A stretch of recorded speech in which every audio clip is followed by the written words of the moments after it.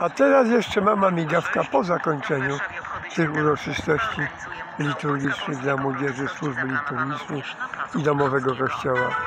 Widać tutaj z tego wzgórza nad, e, nad ołtarzem polowym i koło bazyliki, że jest bardzo, bardzo ładna okolica. Czyżby ten jakiś pożar był w górach?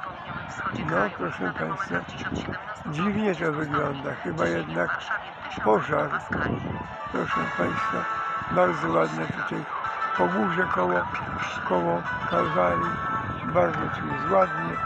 Ludzie teraz poszli coś pakuszać, prawda? I rozchodzą się powoli. A ja sobie słucham, prawda? Prawda? Radia. No i wiecie się na powietrzu. Nie jest bardzo e, ciepło, ale nie jest i bardzo zimno. Lekki wiaterek, więc da się wytrzymać. To na razie na tyle. Amen.